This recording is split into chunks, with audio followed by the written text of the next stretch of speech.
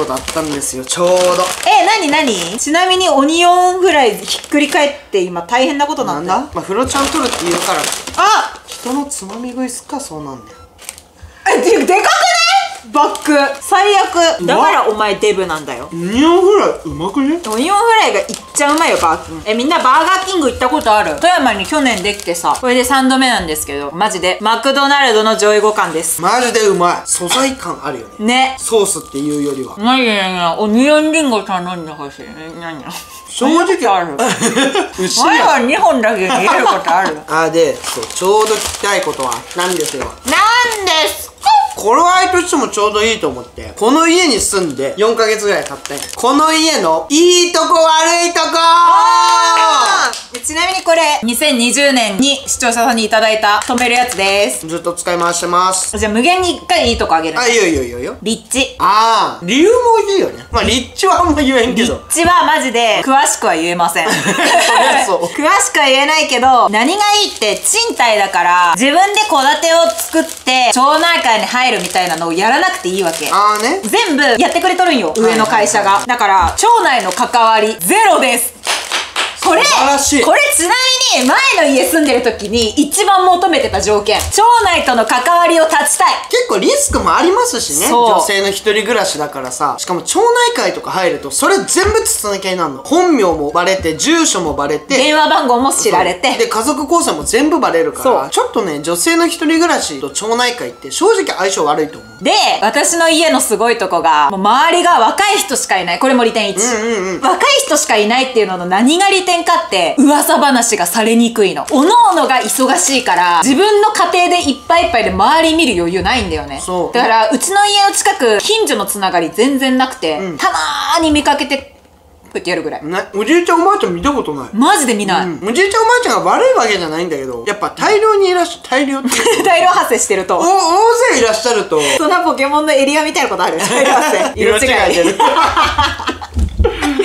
でもなんか色違いもややこしいね今のご時世。そういう意味じゃないんです むず髪の色違いとかにしとくか。髪の毛青色とかって言おうと思ったのになんかむずいやん、そういうつもりはね全くないんですけどね、ていうか自分のばあちゃんに理解してもらえてはないんよ。理解っていうのがやめなさいの理解してもらえてないじゃなくて何回説明されても何やってるかよくわからんの理解されてない、うちの身内に理解されてないなら見ず知らずの人に理解されるわけがないんよ。そうなんよね。これは難しい話なんだけどね、だからそれはなくていいんだよね。ではい3つ目、はい。近所の声が全く聞こえないそれすごくない？これ戸建ての良さね。よかったね結局戸建てで。いやでも意外とさ立地的にさ隣の家とかもあるからさ、聞こえちゃうかなとかっていうさ、うんちょっとね心配してた。そう心配はしとったんだけど実際住んでみるとそんなことない。あ隣の家の声聞こえた回数1回だけ、すごいねそれ。本当に何？喧嘩しとる声みたいな。いや雑談。あでもそれは聞こえちゃうんだ。えでも編集部屋におる時は聞こえてなくて、寝室がなんか隣の家に一番近い位置にあるの。ああね。そこによって寝室の窓際で静かにチーンってしてる時に聞こえてきたぐらい。あーあもうその程度なんだ。そう。えじゃあもうあれだね。防音室とかさあれって結局さ壁の向こうはさ人住んどるけど外の空間があるってやっぱ違うんかな。あと車通り結構多いから人の声がかき消されてるね。あそもそもね、外の方がうるさいか。うるさい。深夜でも全然車通ってるもん。あれもでかい。4つ目綺麗 えでもさ築そんな新しいわけじゃないよね。意外と立ってるよね。結構経ってる。だよね。実は。でそれ聞いてもそう思わんも築3年ぐらいに見える。んね見えるね、私で4人目ぐらいなんだって。あそうなんだ。へえ。4人目に感じくないこの家いや全然感じない。リフォーム一回しとんのかな？してないと思うよ。だからさたまに荒いとこあるよ。あわかる。あ そうだよね。そ この1個だけねフローリング剥がれてるとこあんだよね。壁そう。あとなんかさ壁紙？紙あれやばいよね階段の。そう。どうしても境目できちゃうじゃん壁紙って、でも普通角に、柄のさな交わらんとこ来るようにするやん。もうめっちゃ堂々ともう普通の壁あんまりど真ん中にベーンって出てくるからさ。ある。全然気になんないな。ちょっと雑なんだよね、うん。まずお風呂が超綺麗。ああそうだよな。前の家追い焚きなし自動沸かしもなし、うん。ボイラーだったからシャワー中に水に変わることとかめっちゃあったんよ。今オール電化だからシャワーの温度が絶対に一定で出るびっくりしてえって冷たくなんないみたいな。文明止まりすぎ ボイラーだとそうだったなそう。確かに。波がすごくて。お風呂も常にあったかい温度で入れるから。前の家でも1時間半とか入るんザラだったんだけど今2時間半とか入ってる。追い炊きできるんでかいよね。追い炊きじゃないよ。風呂自動ってやつを押しとけばその温度に保つために勝手にぐるぐる回してくれるの、はいはい。温度。をえあれ8時間とかしか持たんくない？8時間も風呂入らんくない？沸かしたて直後で。そうか。一人暮らしだもんそうだよ。僕が自分家の人間と生活リズム違いすぎるから、僕ん家もオール電化なんだけど 風呂自動のさ時間内に僕風呂入らんない風呂自動もう一回押したらうちのはお湯増やさないよ。あそうなのうん温度保ってくれる。あそうなんだ。あれがね、めっちゃいい。超快適。私、お風呂の時間、だいたい YouTube のコメント返信と、Twitter のリプ返してんだけど、Twitter と YouTube 合わせて200件くらい、お風呂でいつもやってる。返すんだ。2時間半ぐらい。うん、めっちゃやばい。水も持ち込んどるじゃん。ああね、水分補給しながらね。そう。やっぱ追い炊き機能がでかいねいや、マジで世界変わった。お風呂入るの苦じゃなくなるっしょなんなら、お風呂浸かる頻度倍以上。前の家は週1回あればいいなぐらいだったけど、今週3くらいは入ってる。一回沸かしたら2日ぐらい入れるもんね入る入る。臭いけど2日目。ね ちょっと臭い。ねちょっと臭いけど入る。え、めっちゃいいとこまであるよ。もう今んとこすごいけどね広い寝室と作業部屋分けれるんだもん。いや羨ましい。寝室作業部屋撮影部屋全部分けれるから快適っちゃあらしないね。めちゃくちゃ羨ましいですちなみに、うん僕もそうしたい。だってさ前の前のゼノンチなんかさほんと最初の方の動画さ編集部屋寝室撮影部屋全部同じ部屋だったもんね。6畳でね。ね。それが今全部別々にあるわけでしょ。そう。でグッズ置く部屋もあるよあそうなんどうなってんの？グッズ置く部屋まだ半分以上空いてるよ。すごいよね。いやいいわ。マジで引っ越したいもん。ほらちゃんうち来るたび引っ越したい住みたいって言ってくる、お前ちょうだいどっか部屋。無理、で私もこんだけ家綺麗で広いから綺麗に保元っていう気持ちが大きくて毎日ルンバかけてるもんちゃんと。1階と2階に持ってって。やってねじゃあルンバ抱えてさ連れてっとるもんね、ロボット掃除機今めっちゃ高いんよ。これ多分ねゼノンのロボット掃除機ルンバって名前だけどルンバの偽物なんだよ。あアンカーやる？うん、アンカー。当時多分ね1万5000円とかだったんよ。今さ安くても3万とかすんなんねうーん。そうだからなかなか手出せん価格帯になってきてさ、欲しいなと思いつつ動かすとしても多分僕の部屋だけなんよ。だから8畳とかだから8畳のために3万払えんくない？しかも実質ベッドとか机とかあるとこ含めたらさ6畳分ぐらいしか掃除せんがにさ。ベッドの下掃除してくれる？よあそっか、あまあそう考えたらありなんかな。でも前の家だったらルンバ1年ぐらい使ってなかった。ここにかぶっててんの？物が多すぎて動く場所なかったっていうのもあるけど、撮影部屋が自室とキッチンの間だったから通せなかったんだよね。だからルンバ買うとしても床に物を置かない状況の人とかじゃないと無理だと思うルンバが自由気ままに動けるようなすっきりした家に住みたい。今それ僕の目標。で隣の家開くん願ってるあんでしょそう。ちょっと隣の家あかんかなと思って。いいね。聞けば聞くほどいいやん。はいまだあるよ。まだあんの？キッチンが綺麗いやこれ綺麗っていうか IH ああはいはい。前までガスコンロ自分で設置型だったんよ、ガスコンロ置き場があって自分で持ってきてくださいねだったんだけどキッチンの IH が埋め込みしてあるんだけど掃除しやすいの。ああいいね。料理し終わって粗熱取れた時にウエットティッシュでスーって拭けばもう綺麗 IH って絶対文明変えたよねマジで変えたと思う。でもこれ悪いとこでもあるんだけどあちょはい。はいっと鍋作りにくい。えそんな火力むずい。電気制御の方が簡単そうなの？難しいんだ未だになれないな操作というか温度調整というか。ガスってさどうしてもさ焦げたりとかあと油物飛び散っても不険やんね、あんなとこすぐにね。IH もうこれだもんね。やばいよね。あれマジで文明開花だよなって思う。もっと評価されるべき存在な気がするんだよな IH ってものはなんかちょっと過小評価されてるなって思う。はい。はい。ウォシュレットがある。おお待って前の家がなさすぎるだけもしかして。いやわかるいやアンチウォシュレット派じゃなかったでも。いや使ったことなくて。だからこそ公共の場のウォシュレットキモくね？まあまあまあ。っていう、そうね。大丈夫も使ってる可能性あるもんね。そう。で自分家で使ってみたら嵐。えー、これもっと早かったら私切れ字なってなかった。てなった。回使ったら抜け出せんよいやいいねあれ。でも女の子ってビデあるじゃん、うんうん。使ってみたんだけどよよよくわからんかった。ビデがよくわからん。ビデオは謎なの。うん謎だった。ウォシュレットは評価する。でもちょっと強いね。食事中にごめんねんけど、たまに逆流どころか侵略してくる時ある。切った強ねすぎて。おおそんなに？ってなる。ビビる時ある。声出ちゃうよね。でもさ今まだ多分整備されたてで新しいやんウォシュレット。うちさもう築10年ぐらい経つからさ、まあ、ウォシュレットも結構ガタきとってさレベル1だと飛んでこんがお尻に。だからレベルマックスにしてワンヒットお尻にさせてから最弱に落とさんなんよだからそのワンヒット目の刺激だけは絶対にお尻で受け付けんなくって。待って待って。かゆうと思った鼻の穴。バイト。そんなそんなさバイト。鼻えぐれ鼻えぐれる勢い。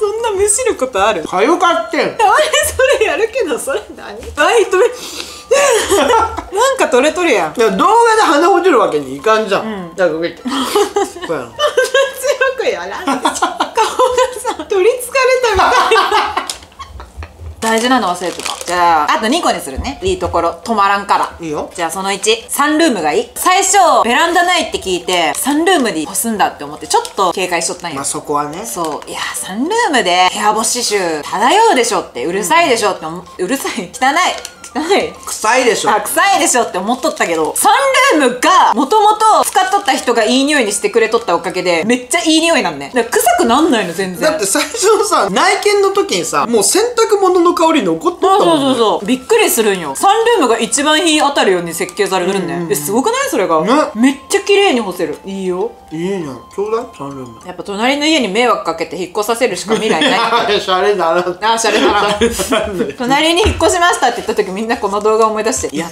たのか？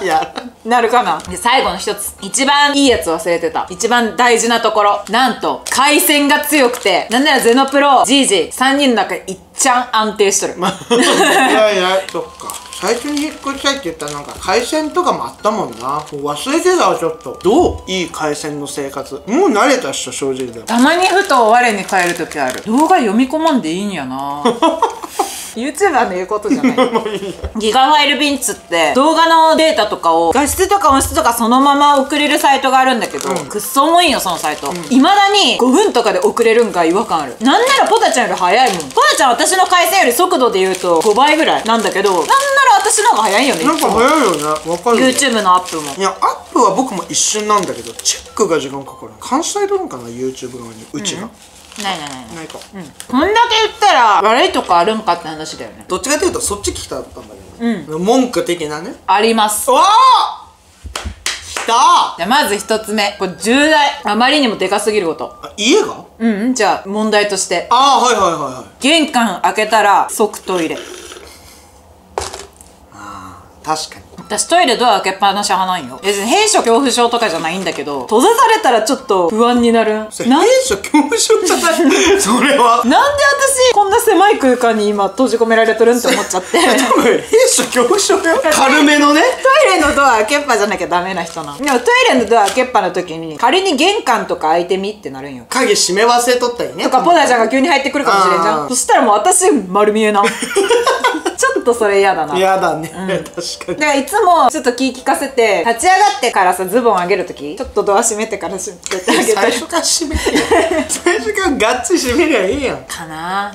だいやまだあるよ。け びっくりました。だあるよ。じゃあ2個目。そっち聞きたくて。もう食べ終わっちゃったよ僕。えー、2個目。前座で。ちょっと待ってね。探しとるやん。ないやんあんまり。ああいやいやどうぞあんまり詳しいことは言えないんだけどこの家がっていうより地域の水がまずい。はあ。前の家めっちゃ水美味しかったんよ、だから生水飲んでも多分大丈夫だったんねでもこっちの家の水まずすぎ。マジでゲロまず。うがいする時でさえ東京のホテルの水みたいな味するの。あーね。だから歯磨きした後にうがいするじゃん？うわーってなる。まずくて。それはなれん。なんでなんだろうな。水質だって取ってくるところらしいよ。とかあと配管の中とかかな。かな。今日玉ねぎマジで火通ってない。だから嫌いやねん生の玉ねぎはカスえトマト入ってるえ抜いてもらったにわー1枚入ってるトマトはねダメよついねはい食べてあげようかオニオンリングそしたらうんいいよありがとう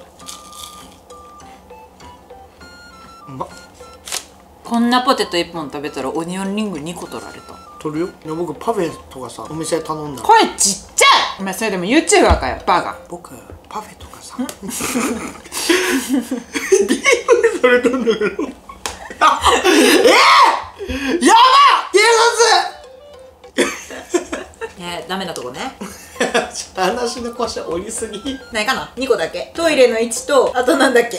ちょっと忘れたあ水 水がまずい。くらいかなだけそっちじゃないと動画伸びんじゃん。ほら YouTube って。マイナスなことじゃないと再生されんじゃん、いやそんなうちはマイナスなことあげてないけど。だからうちらバズらんが。だって10年間監視されてましたっていうサムネの動画。あの時の当時の登録者よりも回っとったからね。えマジで？当時の時点で。やってこどんどん。みんなさ人の不幸好きすぎじゃない？それは。登録してない人でも気になるんだよ。あ そっか。でもさその動画見て登録しようってならんくない？えこの人10年間監視されとった？チャンネル登録しようにはならんよね。トークが面白だったらしてもらえるよ。そこでね。じゃあ何人登録されたか見ようその動画で。あーオッケーオッケー大事じゃない？7.5万再生されてます。スノブだったら多い方。登録された数？122人。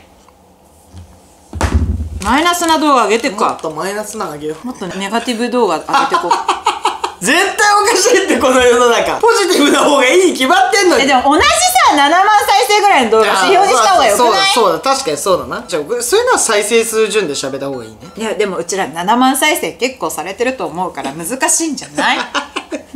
うざ。同じぐらいのアップロード日のやつでだね、7万再生がここら辺で3ヶ月前とか4ヶ月前があればいいんだけどあこれは？6ヶ月前の7.3万再生。アニメート池袋店に行ってきましたのやつね、はい。いやさすがにあれが 100? 120人とかかな。だったらこれ100140でねネガティブな方が多かった場合はネガティブチャンネルに転向する？うん。アニメネガキャンチャンネル アニメとオタクについて常に卑下し続けるチャンネルに変わろうとこの世に存在しちゃダメ？炭治郎も言ってしまう思わえガチで答えよう。ガチでゼノプロのエンゲージメントを脳みそに叩き込んだ場合その 再生数から導き出すに230わいならん。さ、235この動画1本で増えた。チャンネル登録者数なんと全部噛んだ今。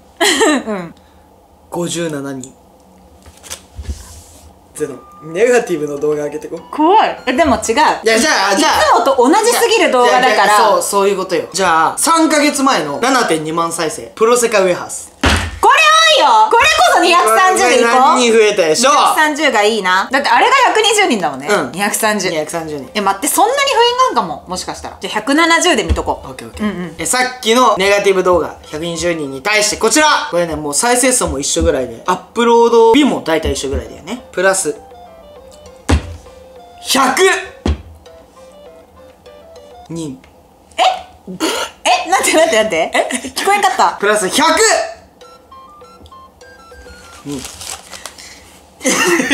人人なんと。もうやだな。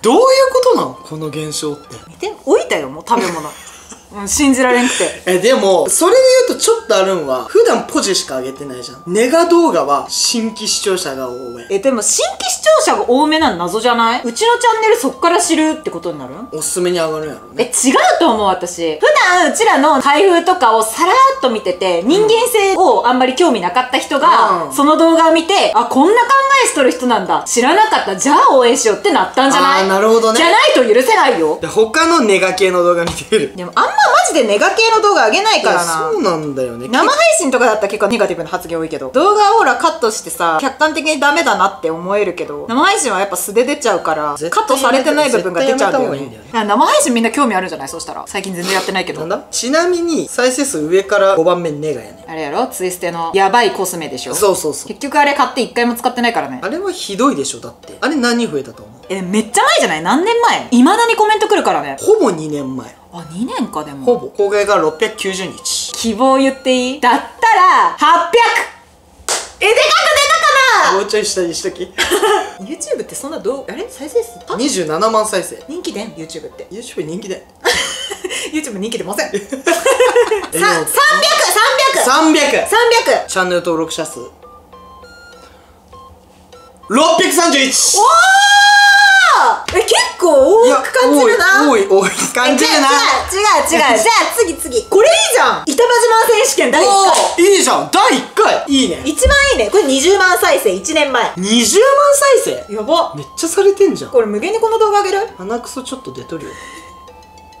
ちょほあ間違えた これいこう。1年ね1年。さっきが？2年で600 600ででもツイステだったもんね。そしてだけだね。だツイステはもともと動画に結構上げとったから結構いろんな人がもうすでに登録済みだったとして板橋自慢選手権についてはもう完全に新規視聴者が多いはずなんよ、いや強気に言っていい ?1500 人。YouTuber に夢見すぎ。1000人え嘘多分それ言っとる人うちら一人一人で月100万以上稼いどるって勘違いしとってここの家の家賃が月30万ぐらい。やばすぎだろ。ぐらいの夢見とるこれ。そんな夢見とる？一人100万稼げるようになったらでかいよ。何？当たり前のこと言ったの？え 800?35 え？835あーびっくりした。35人に急にしたんか835人！では行きます。結構いい線いったんじゃない？板場選手権第1回。チャンネル登録者。393やめよう。YouTube YouTube やめよう。YouTube はやめんよ。YouTube はやめんけどネガティブな動画しかあげない ちょっと待って。なんで？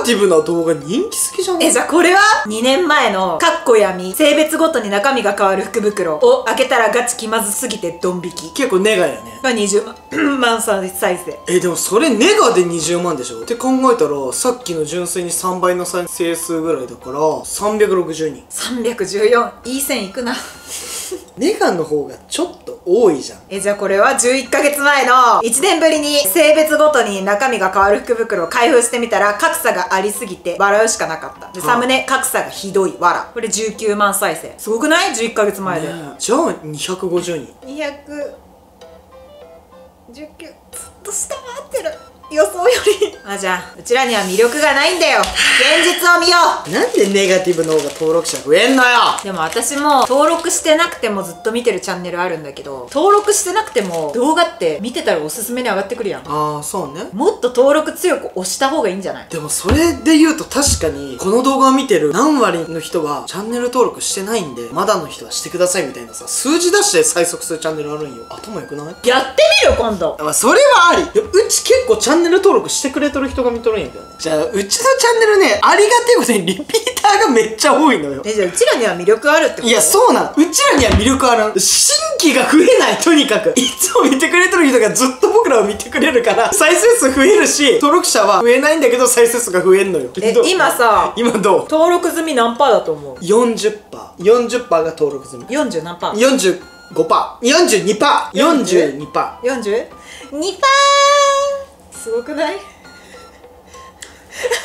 つもみんな動画見てくれてありがとう。本当に。みんな。マジ50-50なんだけど。いつも見てくれてありがとう本当に。本当にありがとうみんな。みんなのおかげで生きてるわやっぱり。いやみんなこのチャンネルはそんなに力入れてみんでも大丈夫。ああこここはね。クロちゃんはね。うん。クロちゃんはね。50-50じゃない？昔これがチャンネル登録済み7割だったんですそうなんやばくない？うちのチャンネル新規皆無でタイトルとかこだわってなかった時期。っていうよりもサムネ下手だった時期がチャンネル登録済みが70%で未登録30%とかだった。そうなんぜ。うちのチャンネル。だから50-50頑張ってね頑張った。ちょっと改善したね。でこれみんな何がいいって登録済み多い方がいいじゃんって思うやん。そう。まあそれはねもちろんいいよ。でも再生数が上がっとるから登録済みじゃない人が増えるってことはそんだけチャンネル登録してもらえるっていう余力がある。増えるのよ。常にあるってことこんだけね50%の人だからでも毎回の動画で2万人ぐらい。うわ2万2万人登録してもさ人えちょっと待ってこのチャンネル気になってきた。10万届かんやん。ギリ届かんじゃん。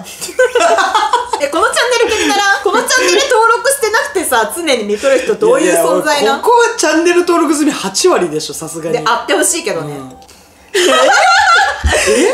みんなメインチャンネルよりより50-50どういうこと？やっぱチャンネル登録するっていう文化がないんじゃない？ないない人もいんのか、いやでもマジでみんながねいつも見てくれてんだなってのは本当に感じるね。確かに。ね。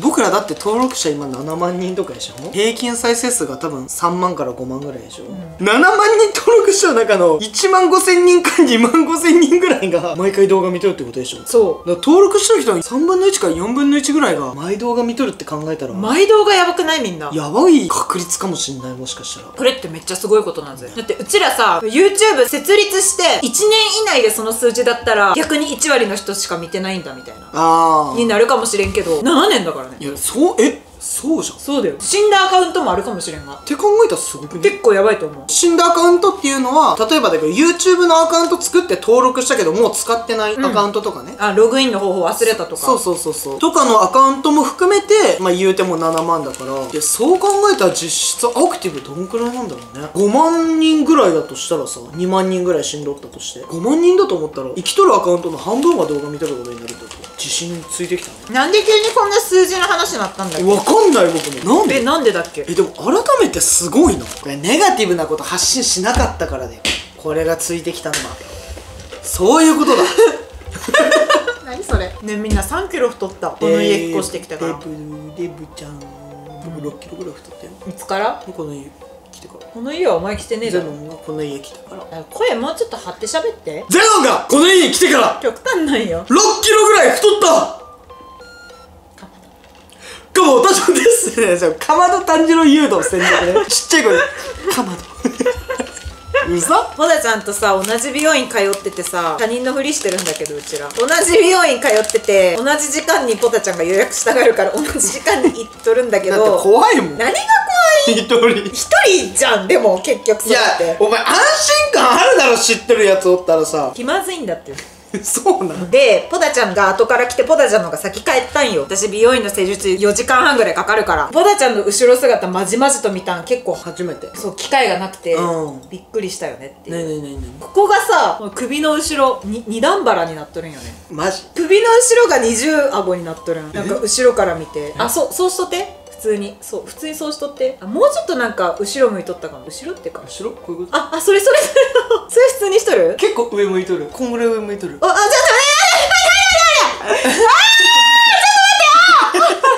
なになになにマネキンの首つけたやん。上にヒュッつって。と待ってびっくりしたんよね。乗ってるね油。確かに自分の後ろ姿見ることないからさ。そう。ちょゼノンは？ああ大丈夫だ。だってこうした時点でさ 首の。首の太さ半分しかないやん僕の。私も太い方だけどね結構。そうなん？でも人間ってこう見ると首結構長いね。ポタちゃん長いんじゃない？長いんかな？なんか待ってこのぐらいじゃん何？だからもう終わらん。無駄に長いだけなってきたって。終わる？終わろう？じゃあ次何話す？いや何？2週目入んの？今から、うん。いや撮ろうよ動画。なんか話そうと思っとったんにさ取られた。あ思い出した。でもやめとく？後編に続く。いやそれはいいや。あそうや。じゃあ終わろうか。じゃあ私が何話したかったのか皆さんがご自由に想像しててください、はい。多分あんまり。めっちゃしっかりした話だったんだけどね。話せなくて残念。だそうです。またの機会で。お会いしましょう。あなんか最近